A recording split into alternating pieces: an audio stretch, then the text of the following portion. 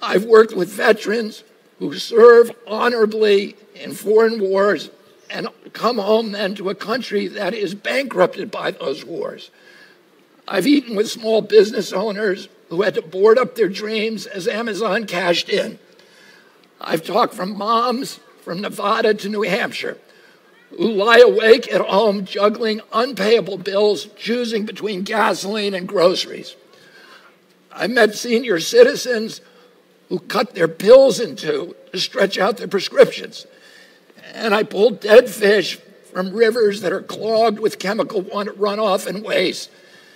And I've read stories to children who are devastated by chronic disease.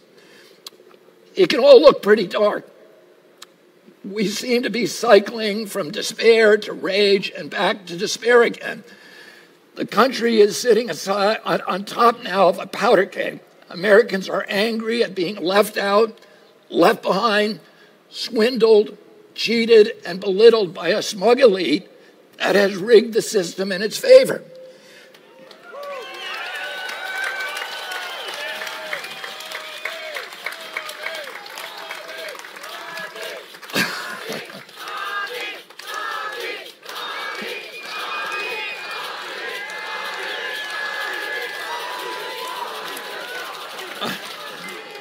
But I've also seen hope.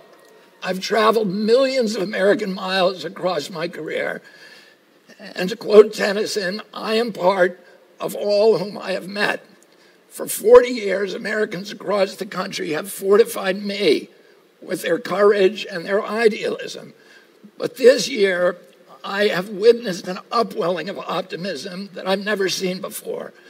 And optimism isn't the same thing as denial. We have to acknowledge the truth.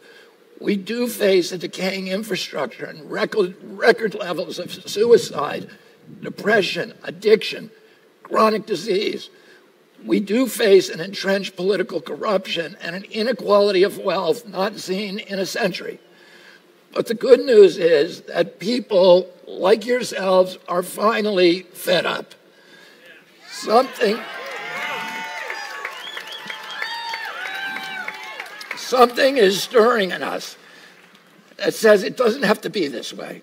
People stop me everywhere at airports, at hotels and malls on the street, and they remind me that this country is ready for a history making change. They're ready, they are ready to reclaim their freedom, their independence.